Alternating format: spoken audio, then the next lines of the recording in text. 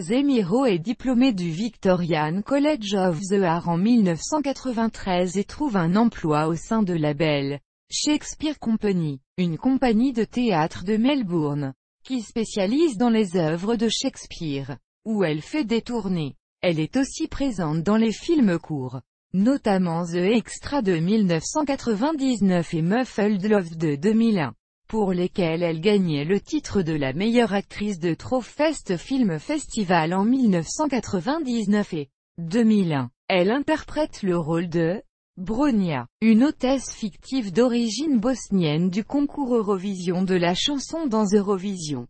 The Musical, 2003, Euromax 7 The Musical, 2004, N2 Eurobeat, Almost Eurovision, 2006.